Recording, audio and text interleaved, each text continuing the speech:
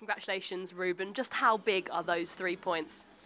Well, it's massive, uh, massive for us. Uh, we knew the importance of this game.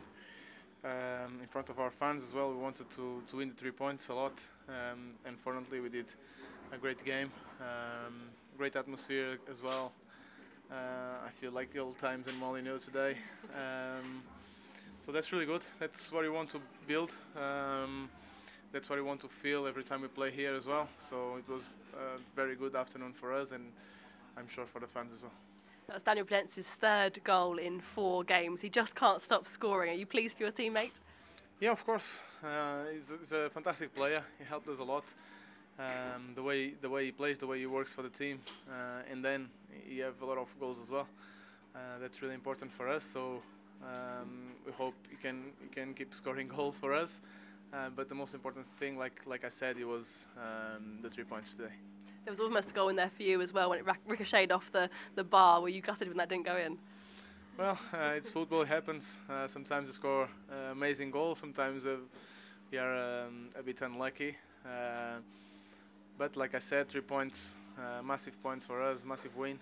I think if you look to the um, to the performance as well, it was um, a really solid performance.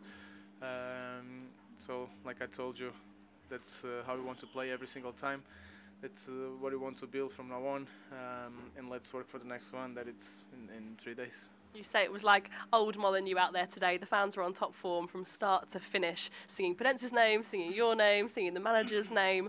Uh, how much does their support mean?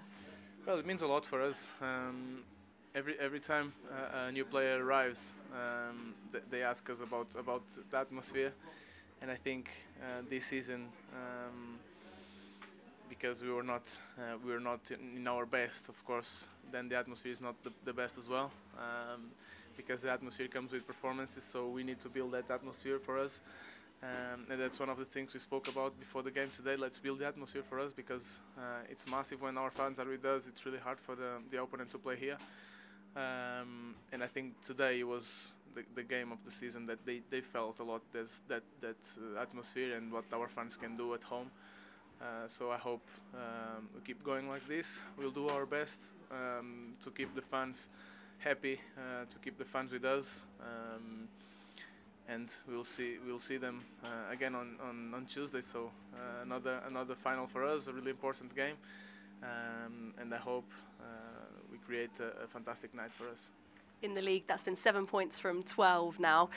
things are looking up, aren't they, since Julen Lopetegui's come in since the World Cup? Well, uh, like like we told um, before the restart of the season, um, the people worked really hard on here on the during the World Cup. It was like a pre-season for us, and um, every time I spoke about that, I, I, I, say that it was really important for us as a team to to, to break and to, to rebuild everything again. Uh, it was a, a, massive a massive break um, for the club. Uh, it was a massive break for us to improve everything we needed to improve. Uh, it was like a pre-season, so. I think that's that's what you can take from from it now. We are playing we are playing well. We have a lot of things to improve. Uh, and like the manager always say, we are not the best when you win. We are not the, the worst team when we lose. Uh, we, we came from a, a, defeat in the in the cup, of course, in, in the penalties. But I think we we, we we we did a fantastic answer today um, on the pitch, and um, I'm really pleased with, with, with everyone. Thank you very much, Ruben. Congratulations. Thanks.